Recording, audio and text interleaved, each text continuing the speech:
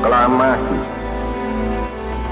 Kami bangsa Indonesia dengan ini menyatakan kemerdekaan Indonesia. Hal-hal yang mengenai pemindahan kekuasaan dan lain-lain diselenggarakan dengan cara saksama